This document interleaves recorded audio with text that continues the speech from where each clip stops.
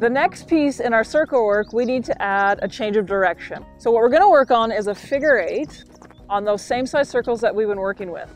The most important point on this circle is this intersection between our circles on the center line. What I need to do now is prep my horse from right flexion, right rein, to go to left flexion, left rein. There's actually quite a bit of work to do before my horse gets to that point where he needs to switch. There's a lot of problems that we can encounter as riders.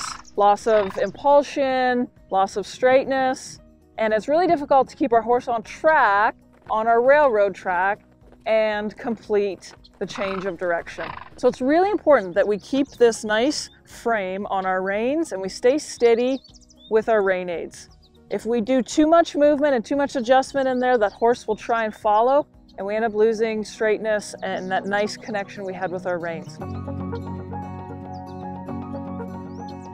I want to spend some time and talk about seat bones. When I'm in my right circle, okay, I should be weighting my left seat bone slightly.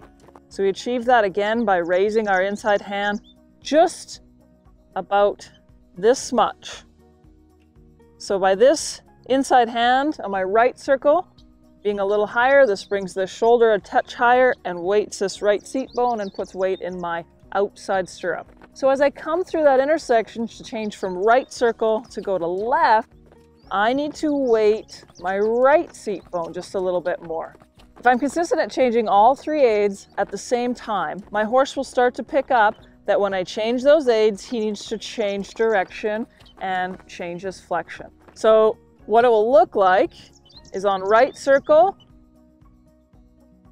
my right hand is a little bit higher, weighted my left seat bone, my left leg is back, my right leg is at the girth, supporting this rib cage, sending my left shoulder to my left rein.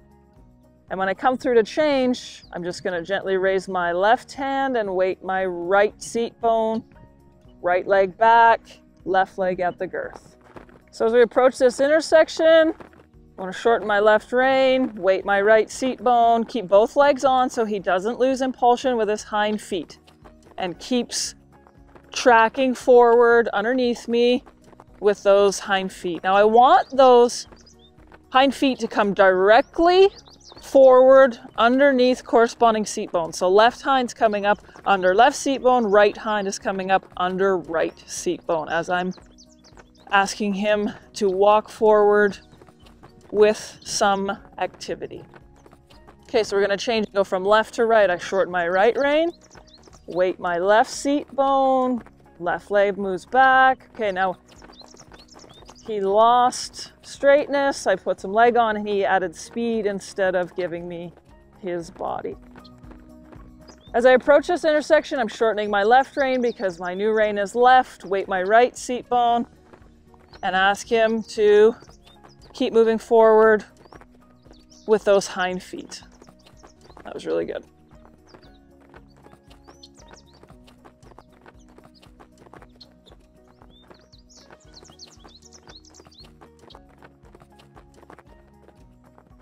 So as I come through here, I shorten my right rein,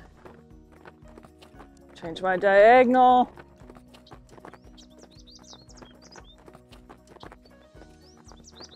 Still wanting to pay attention to my four points, ensuring that he's hitting those points for my circle geometry.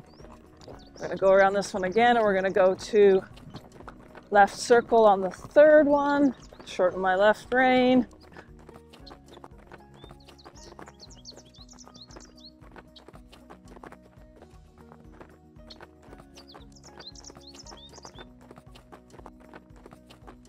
Okay, I'm getting ready. Little half halt, shorten my right rein. I want to use that inside leg to push him into my new outside rein. So as I come through here, I'm going to use my left leg to push him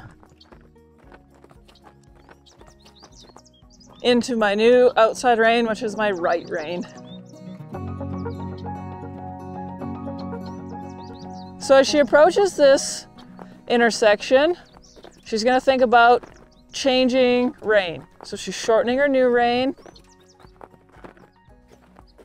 riding through with both legs, maintaining straightness. That was really good. Okay, shorten your right rein, weight your left seat bone, right leg sends that shoulder. That's beautiful. It's a little behind the vertical, Haley. Shopping cart hands, push your hands forward. Good. So you're shortening your left rein, you're getting ready to change direction. Weight your right seat bone, left leg sends that body to the outside rein. Excellent.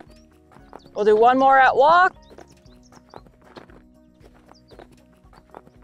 Shortening your new rein, which is that right rein. Both legs on, riding them forward. Very nice. So now when we add trot, when we add speed, we need a little bit more prep time. So at the three quarter mark of your circle before you change to your intersection, really start organizing your homework pieces. A little half halt if you need to. Good job. What I really like about this is this horse maintains straightness through these intersections. His hind feet are tracking forward at all times. And that's what I'm really paying attention to is those hind feet pushing forward. That means he maintains his balance through that intersection. He could have a little bit more flexion. So really think right rein, right leg, and stay steady with that left outside rein. Little half halt, easy. Okay, so Haley, let's do some half circles. So you're gonna do half circle, change direction, half circle, change direction. So it's a serpentine essentially.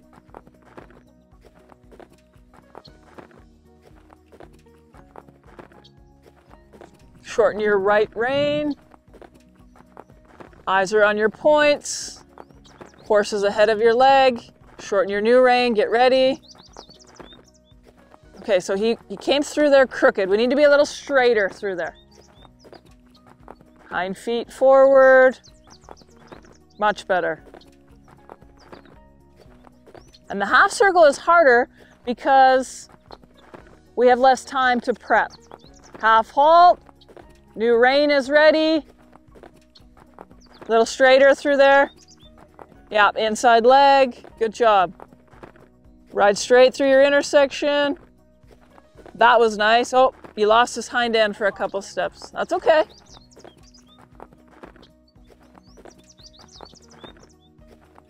So if you need a little half halt, just collect that trot a little. Good job. So a little bit more rein aid to support. Rein aid, reins. Good. Couple more.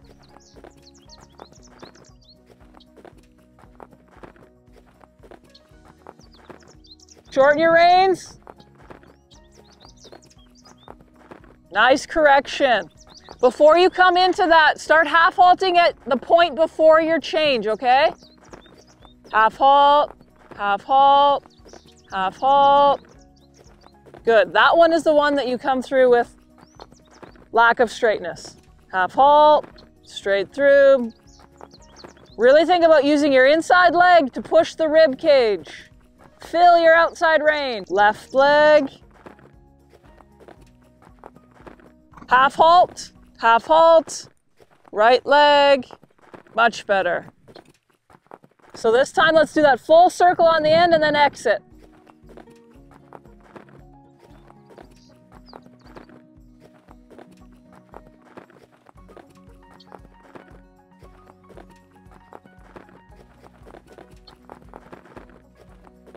Eyes on your points.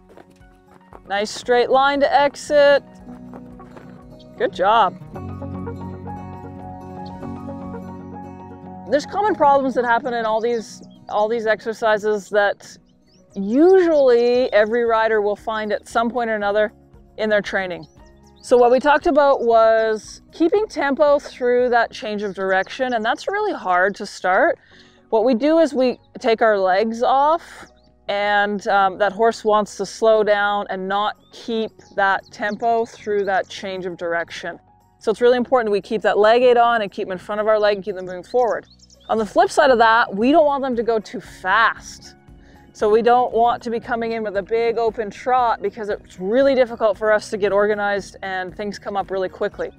That boils down to planning and getting our homework done early. So if I'm gonna change flexion and bend over here, I wanna start at this point of my circle and start getting ready so I can be prepared when I get to that intersection. Another problem we talked about was uh, maintaining straightness through the change. It's, it's difficult because they, they wanna follow their nose and their body wants to do all sorts of things.